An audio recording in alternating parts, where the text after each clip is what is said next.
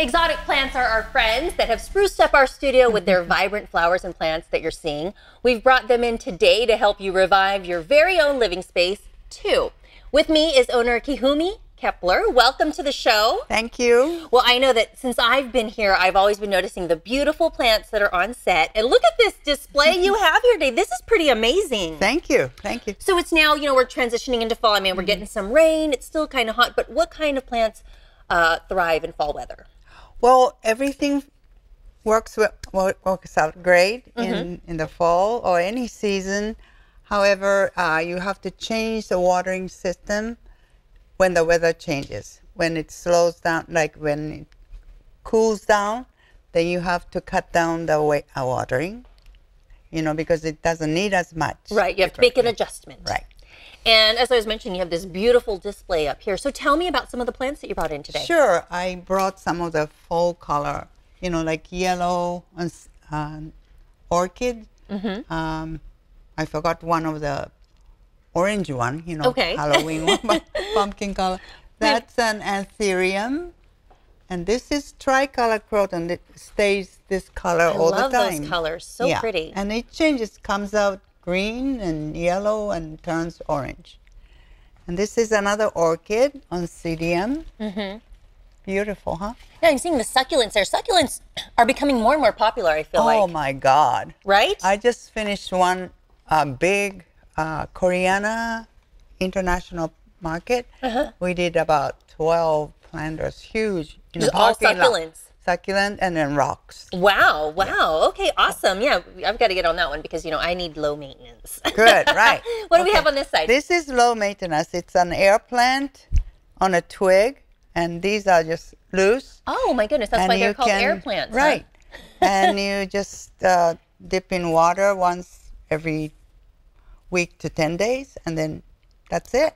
And I'm sure if we come see you at Exotic Plants, you can help us achieve some of these beautiful looks. Of course. We'll help Now, you. yeah, and you guys are celebrating a very special occasion. Why don't you tell me about that? Yes, it's 47th anniversary. 47, years. 47. Wow. I'm getting old.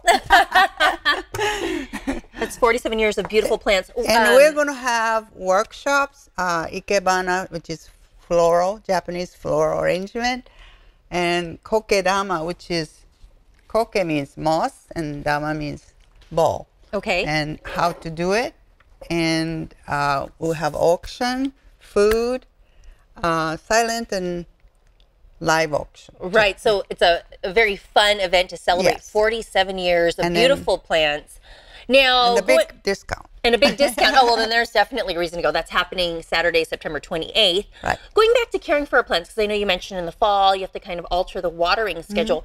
What is it about the cool weather that you really need to be careful about if you want your plants to survive and still continue to thrive? Okay, the weather changes, the sun moves around, so it tends to get uh, darker. So provide more light or open the you know curtain a little more. Right. Um, when the weather temperature goes down, just make sure it's not right by the heater uh, or temperature drop at night. You just have to be careful. What What do you find is like the biggest mistake people make, or where are people coming to? You? They're like, "Hey, my plant diet is not doing well." What is it that people tend to do wrong most of the time? Uh, most of the time, people walk over water or totally underwater. You know, just don't water for three, four weeks and then think they survive. Right. And that's not right. So these are these are living plants. You have to take care of them every day and make sure that you're you're doing the right thing every day. not every day, but at least weekly. You know, make sure it's Great. moist and. Yeah. So um, again, you guys are celebrating 47 years. Did you just move to a new location? Yes, on 1525 Fulton, and it's a new building, and we own the place, and it's beautiful. People say, you know, this is so gorgeous, and you know, white and black, and you know, just more modern. So when people come in, what can they expect to find? Um, anything unusual they are looking for, like trendy plants, um, everything. So they can find a little bit of everything. Obviously okay, exotic. This one is like a mounting staghorn fern. This staghorn fern is rare. It's called grande, Mm-hmm. and it the new shoot comes out right here, and then covers up the new one.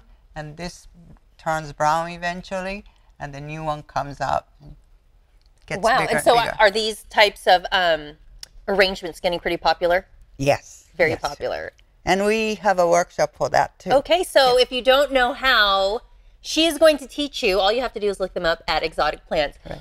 Uh, where can people go to get more information about, you know, your anniversary celebration, or if they want to sign up for a class? Yeah, you can check face, Facebook or Instagram, and as well as uh, our website. Okay. Yeah, Exotic Plants Limited.